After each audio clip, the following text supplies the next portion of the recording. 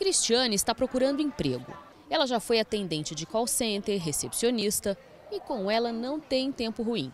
Está disposta a aprender caso apareça oportunidade em outra área. Como eu tenho, já trabalhei em atendimento, eu creio que ficaria mais fácil. Mas caso não haja essa vaga, eu posso buscar outra. Eu quero aprender, mesmo que seja uma função que eu não, não tenha prática. Hein? Cristiane teve paralisia cerebral que comprometeu a visão e o movimento de braços e pernas.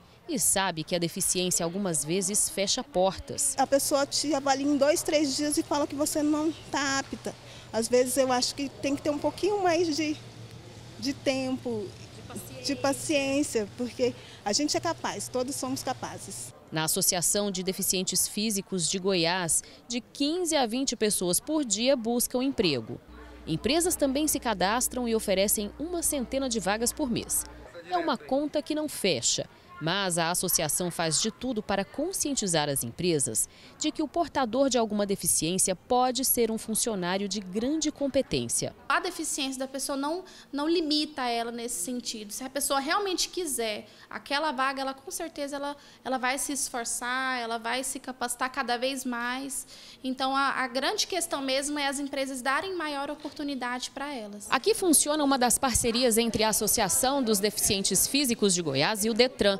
O call center é responsável por gerar mais de 70 vagas de emprego. Todas as pessoas que trabalham aqui têm algum tipo de deficiência e juntas fazem mais de 90 mil atendimentos por mês, sem deixar nada a desejar. Thaís é atendente de call center.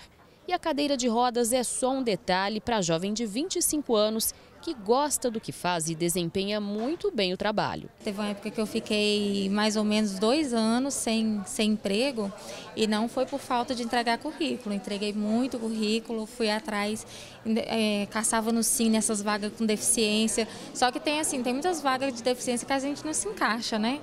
E esse aqui é um tipo de serviço que não tem como nem encaixar. No Cine Municipal, 92 vagas para deficientes estão disponíveis. Entre elas, 21 para operador de caixa, 19 para repositor de mercadoria, 16 de ajudante de padeiro e 20 de auxiliar de armazenamento.